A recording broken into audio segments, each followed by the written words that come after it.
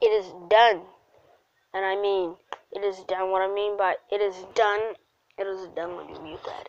Yeah, so I literally just, uh, literally just hit finished uh, the set list for my uh, Fan Victory Tour, which is coming out um soon. It's coming out this Friday, full concert, and I'll just put the set in the description. So yeah, it's done.